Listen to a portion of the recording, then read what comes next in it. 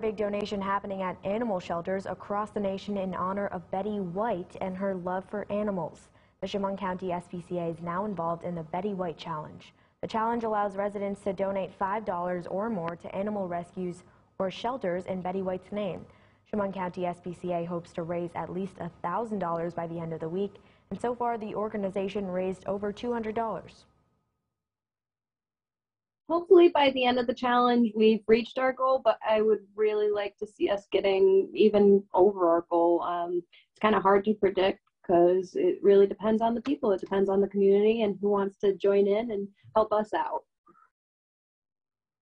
Residents can make donations either through the SPCA's website or by mail. The organization also accepts in-person donations as long as COVID guidelines are met.